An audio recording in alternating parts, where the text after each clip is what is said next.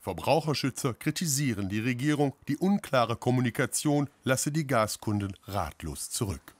Ein Hin und Her rein, die Kartoffeln raus aus den Kartoffeln, das trägt zur Verunsicherung leider weiter bei, was die Bundesregierung dort äh, gerade diskutiert und was sie veranstaltet. Insofern wäre es jetzt wichtig, Dinge schnell zu beschließen.